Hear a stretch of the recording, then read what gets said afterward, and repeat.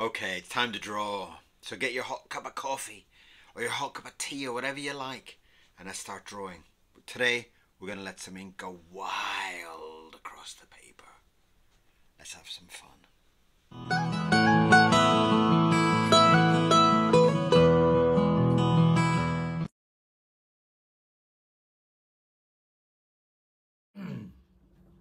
Okay, we're back and we've got some ink and we're ready to draw. Now today, I'm kind of getting ready for my Cat Cat book. So I'm going to be, uh, I'm going to be trying some, some new cat ideas, some new cat designs. And I hope you'll enjoy working along with me on this. Um, it's just going to be a little bit of thought, a little bit of thought release, a little bit of thought thinking. What are we going to do? How are we going to do it? What is the designs going to look like? What's the format? So there's lots of thoughts going on in my head. And these are kind of like, um, I'm hoping that there'll be something that will be you getting an insight into my design process, my drawing process, and get a, a feeling for, for the way that I work and maybe how you can pick up some tips and tricks along the way. It might be inside. Shall we draw? Right, so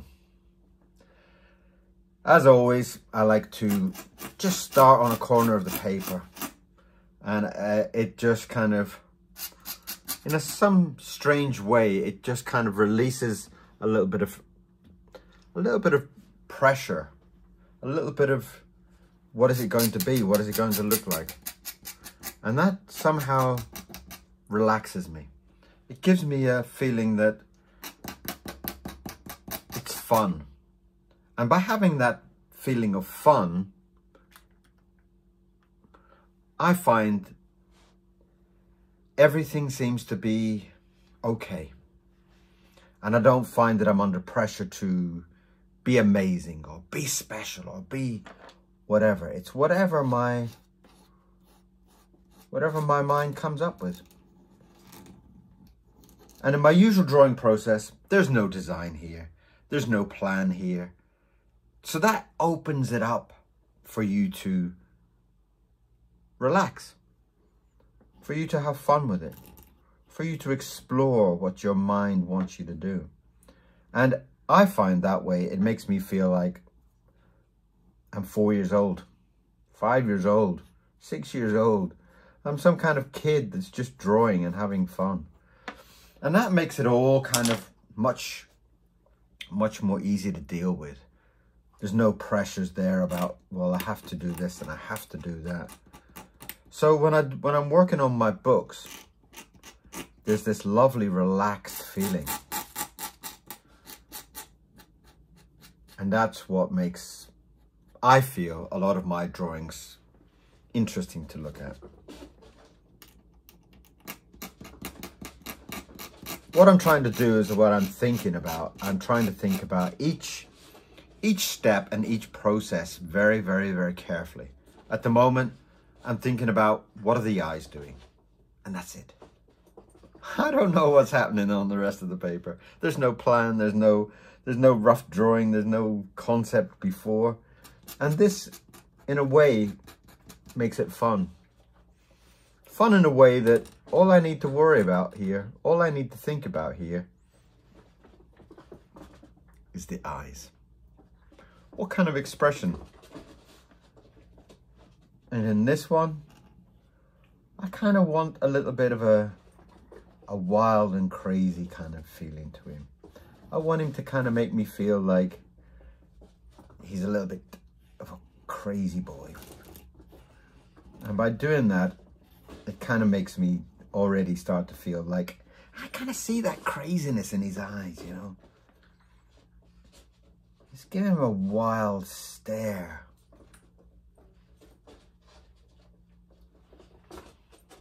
Now, already that's exciting me. Already that's getting me into this feeling of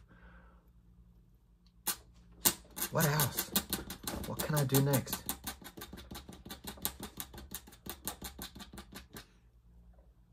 Maybe I can have his hair a little bit longer. Maybe I could have some kind of strange haircut to him, you know? And drag those hair, a few kind of strands of hair, a little bit longer than everything else. And already that kind of gives you that kind of little bit demented feeling that we're trying to capture here. And as I, as I say, we're not worried about that drawing. We're not worried about the arms and the legs and everything else yet. We're just thinking about looking up at my camera. My cameras are working. yes, they are. Because they weren't working earlier and it drove me mad. Oh, man, it drove me mad. Feel that line. Feel each line that you put down. Feel how beautiful each line is. Do you want it to be thick at this end and thin at that end? How do you want it to be? Do you want to give him some real kind of worried, crazy wrinkles over his eyebrows. Is that what you want to do? And this is slowly, slowly, you're starting to think more about the character behind this this this drawing. You're thinking more and more about the expression. What is he going through? And that takes you away from all that worry. All that worry about this has to be a Michelangelo. This has to be a Da Vinci. This has to be something incredible at this point, we're just enjoying every line. Look how beautiful that line is. Look the way that it explodes halfway. And it gives me that feeling of, of passion. It gives me that feeling of excitement. The way I kind of ragged out his ears a little bit. Kind of give him that feeling that he's been in a lot of tussles and a lot of fights and a lot of rough times. And they're starting to be the beginnings of our character, the beginnings. And we don't even know what the rest of his face looks like. So this is where we start to have fun. What kind of a nose do we want him to have? Let's have, give him a little bit of a bent up nose. Let's kind of give him a nose that's, again, looks a little bit like he's had scars, he's had fights, he's had He's had a bit of a rough time. And as you're thinking about these type of things, just about his nose, let's give him a little highlight on his nose. And that, that starts to give you a really kind of nice off-center feeling, like, like some kind of strange expression to him.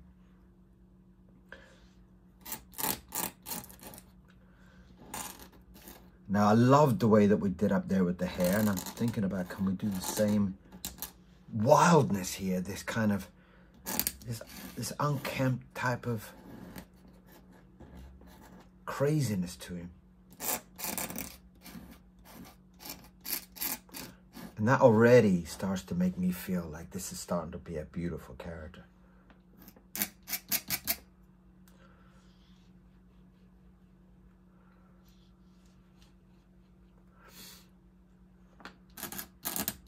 I'm just carrying off this hair on this side as well, just to kind of see what what looseness and, and, and craziness can we get. Now, like I said, we don't know what's happening here. We don't know if he's going to be a fat cat, a skinny cat.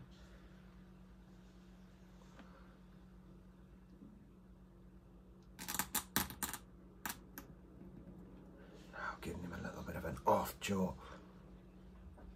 This type of thing. I'm going to give him some little teeth in there. Not to make him look mean, but to kind of add to that type of, that kind of off-center face.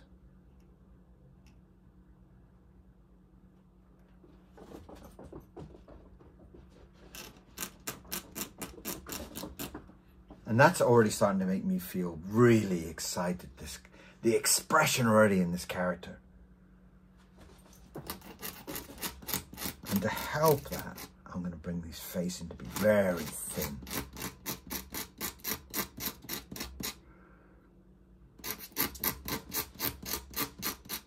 And what this is doing is it's kind of, you're thinking on your toes. You're thinking about Well, because I'm turning that face, I'm not having a straight face.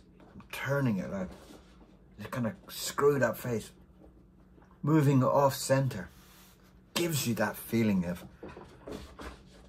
of this kind of craziness, this kind of expression of pain or anxiety or something. It's like,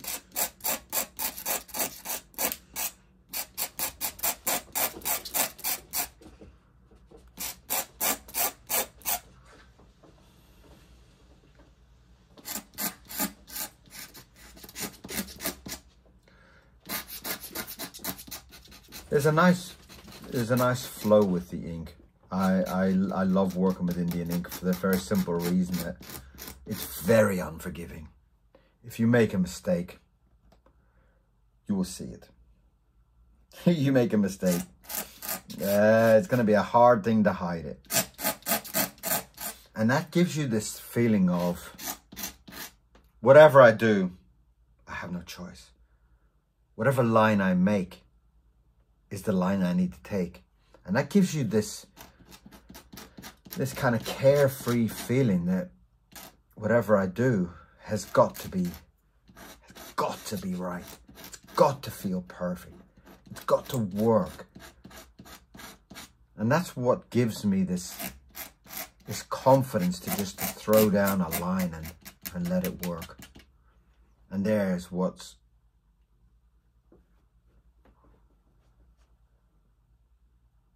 See, that excites me.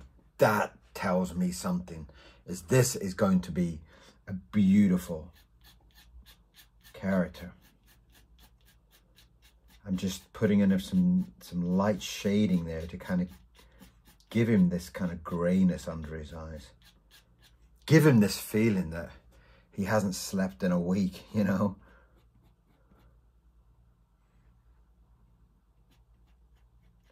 And when, when I'm doing these type of things, I put very little ink on the pen because there's already so much ink on the paper that you're kind of working that ink. You see there? I didn't put any ink on it, but I'm just working the ink that's on the paper. And that kind of works better because there's already a line there. I'm not putting in a line and working it. I'm taking the ink and working that line. Is it the same there above? There's already so much ink there. I don't need to add any more and make it thicker and more confusing. I want to kind of get to this part of this dark shading around his eye. And then when you come to color, that shading will help it. That will in, kind of push the whole glare of that eye much, much, much, much more. So, I've got this feeling here that I've got these arms coming in and these arms are bending and I'm not quite sure about it, but my mind is telling me that the, the arms are down here. And we're going to have a kind of, some kind of clawed arm. And this, now you can see what, why this character is becoming is because I've already done the arms way down there. I can't do the legs down here. So the body has got to go this way. And I haven't thought about that yet. But I know the drawing is telling me this is where the arm has to be. This is where it has to be. And your drawing will tell you that. As you're, as you're working it, you will start to feel like why are you telling me to draw the arms down here? What, what, what? And you start panicking. Don't panic. Don't. This is all going to work out because this paper is, is telling you what's in it and you're finding that that drawing. I'm carving this this image out of this piece of paper. It's already there. I'm kind of just you know, like a like a one of those guys in the desert finding those dinosaur bones or something. You know, it's like I'm finding it. It's there. I'm just kind of digging in the dirt and out it comes. Now look at that beautiful clawed hand that I've come up with there.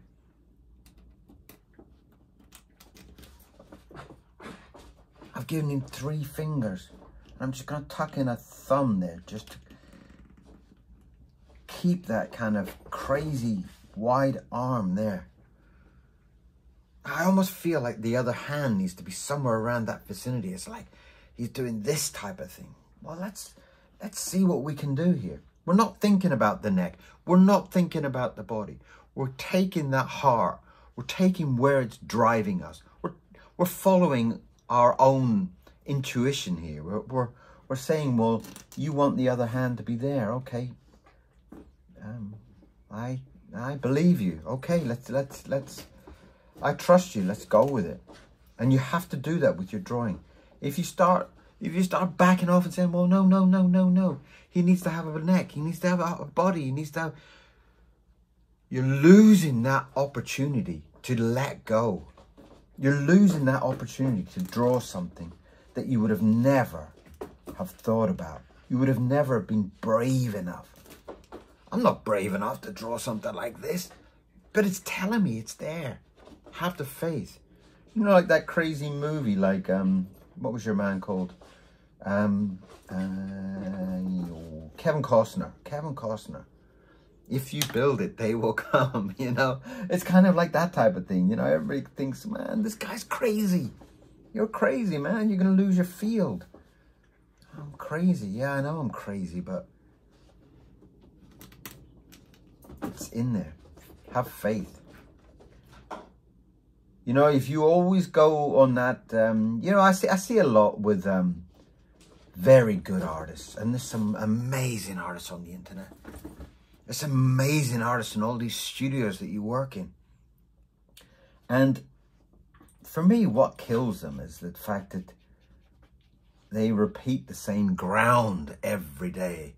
They start with the head, they do with the eyes, they do with the neck, they do with the body, they do. And there's there's no format to break. If you've got no format to break, then tomorrow you will do a head, an eye, a neck, a body. Next day, a head, and neck. And you'll really start to get to a point where I've got to try and do something different. I've got to try and break this up. How? Whereas if you go in to this kind of thing of thinking, well, I've got this shape. I don't know what the shape is. And you start scribbling a shape. And you start thinking, I like that shape. Could I make that shape into a character? Just a shape. But you start thinking about, well, maybe maybe this part is where the head is. Maybe the head's down below and the body is higher up. And and you start you start to feel that character coming out of the paper. You start to feel the character calling you.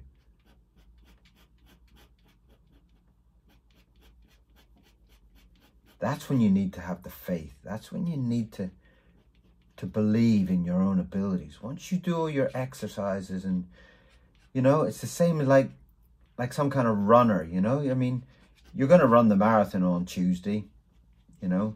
You, you're going to run the marathon on Tuesday. You know, I'm cool with that. I'm, I'm, I'm going to run that marathon. Why are you going to run that marathon? Because you've been practicing. You've been out there and you've been running. Right, here comes the neck. You get, you've been out there practicing. You've been out running in the rain. You've been doing all your sit-ups and your push-ups and your whatever else. And you've been doing it all. And now you know your body is strong enough. You know that you can run this marathon. Now, is the process where you need to believe. You need to start to run and just say, I believe in me. I believe in my preparation. I believe in my drive. And that's what you need when you're doing your artwork. You need to sit there and draw your circles. Let everybody laugh at you, whatever. Ah, sitting there drawing circles. I've just drawn the Mona Lisa. Well, cool, man. Go for it. You draw your Mona Lisa. But all my circles and all my C's and S's and practicing of drawing fingers and drawing hands and drawing feet, scribble them in your sketchbook. Scribble them in your sketchbook. You're not doing a piece of work for a gallery. You're sketching it. You're learning about the construction of it. That will make you strong.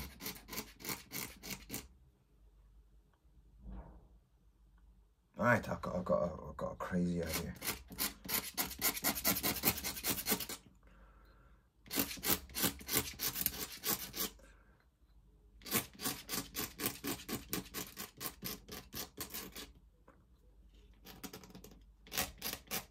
And the same goes for the, the details of your drawing.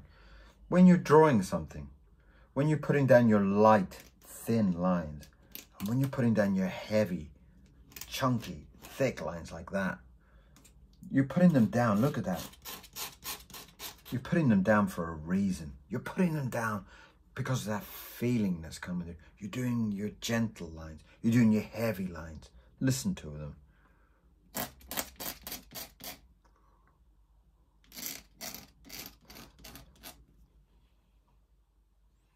Now something is telling me that I need to extend this out. Something is telling me that I need to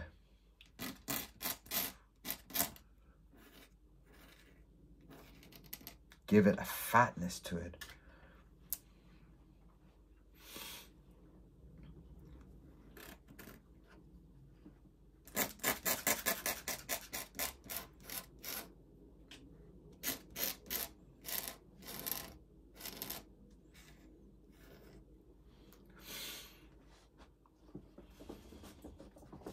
Now, when you're doing your drawings, sometimes your drawings don't work out. That doesn't mean you failed. That does not mean any kind of failure at all. It basically means that that day was just, you didn't pick up the feelings right. That's the day where you start to think,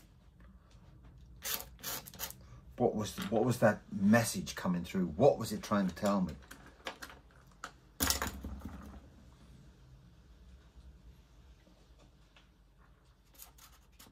Now I want to be able to feel the weight of this character. And I want to feel the weight of that line coming in.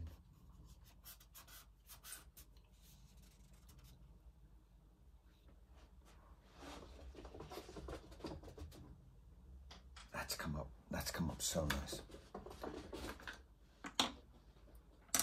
And what's kind of giving me this feeling of this is that some kind of like, maybe he's like some kind of caterpillar cat. Wouldn't that be beautiful? I'm just trying to bring those lines down there.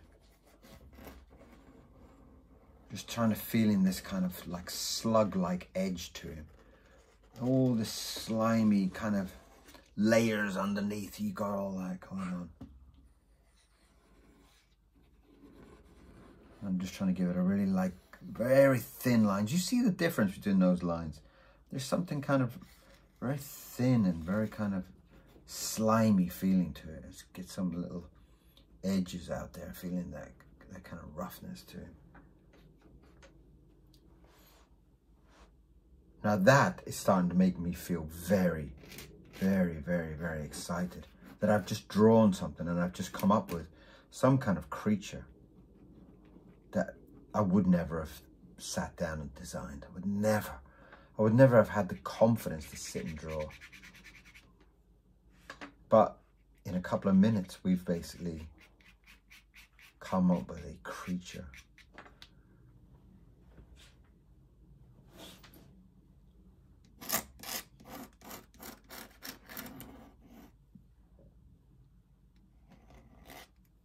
And this is what I'm talking about with, with confidence. This is about finding something. You know, and some days it's going to work. Some days it's going to be so incredible. And some days you'll just sit there and go, oh, well, that, that was a bit of fun. And this for me is a really nice one. This is kind of making this kind of transition between a a hairy cat, which is what we were having up here.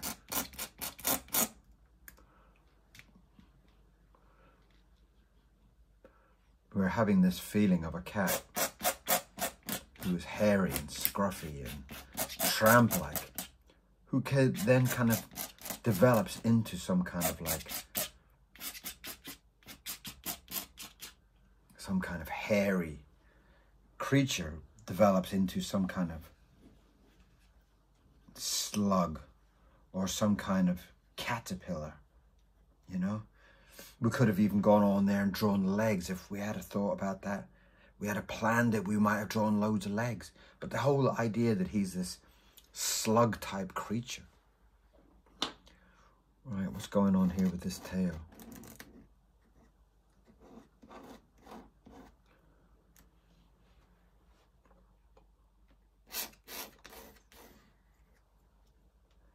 I like the idea of this being some kind of weapon. Like some kind of thing that he uh, bashes the little victims on the head with. Like those kind of old dinosaurs in those, you know, back in those days. I'm just going to pull my sleeve up a bit there because I'm going to be dragging it all the way through my drawing. And that kind of gives you quite a nice idea that you're kind of building up some kind of hunter. Some kind of creature that is out there looking for little animals to kind of bash on the head and eat.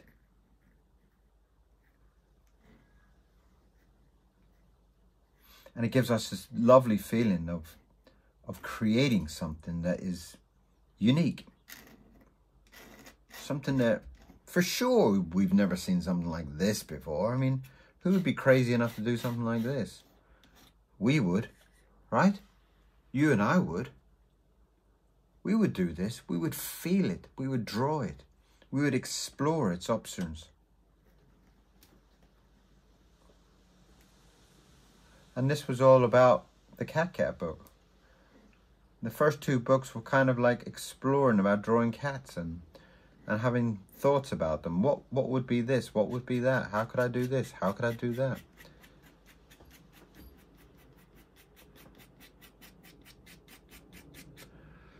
And the Cat Cat books are still on um, Amazon. And I'm going to try to put together a new one. Cat Cat Book 3. And this is some of the explorings of it. You know, in those those two books, there's probably over 200 drawings. But all in color and everything else. But it there's a lot of the drawings that didn't go in a lot of drawings that I thought, ah, I'm not sure about that one, I'm not sure about that one. But there's still over 200 drawings.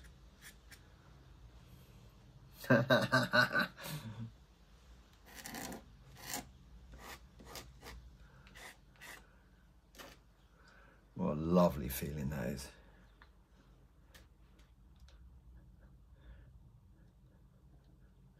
Give it some texture on that. And I love this idea, these kind of like dangerous, you know, you see sometimes those kind of caterpillars with big spots on them and you think, well, I'm not going to touch you. I'll get, I'll get sick. I'll get poisoned. That's what he's kind of got. He's got almost like warning spots all over him.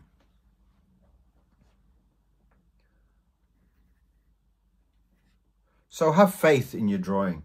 Have faith in you. Have faith in your abilities. And if you don't have abilities at this moment, work on them. Draw your circles, draw your squares, draw your feet, draw your hands, and build up all those. But at the same time, all the time you're building up all these technology, uh, these technical things, sorry, like drawing hands and feet and ears and whatever. At the same time, you have to flexible, flex this muscle in here, this big brain muscle and that means you got to flex it. You got to, you got to explore it. You got to push it. You've got to sit down and say, well, can I draw a half horse, half man? Okay, what about if I did half horse, half octopus? What happens if I just sit here and draw on a page and see whatever I draw, whatever I come up with? What would I draw if I just sat there and I didn't know what to draw?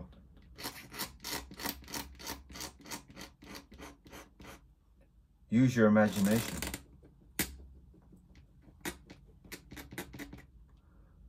And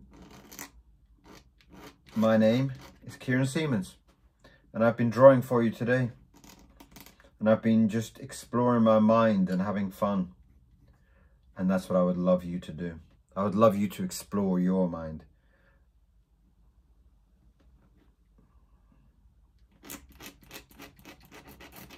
There's something beautiful about the creative people in this world.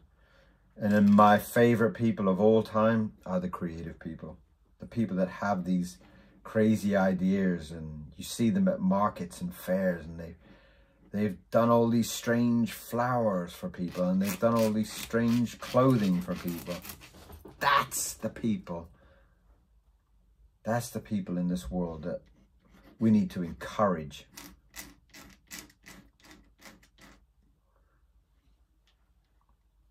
And that is today's drawing. That is today today's relax from the mind. This is our day of just letting go. He's kind of a strange beast and I really love it. It's kind of like the cat slug. What a great title. The cat slug. So, as always, thank you very, very, very much for sitting with me. Thank you very much for taking this time just to sit and watch me draw. I hope you're drinking a cup of coffee. There's my cup of coffee over there. And it's going cold. Hmm. I'm getting quite a taste for cold coffee. So, thank you very much for watching. Thank you very much for giving me your time. And please, as always, hit the subscribe. I can't remember which on side. Hit the subscribe button and join me for a daily draw. Every day we do a drawing and we relax and we enjoy our life. So join me in this lovely journey to draw every day and thank you. I'll see you again very, very, very soon. Bye-bye.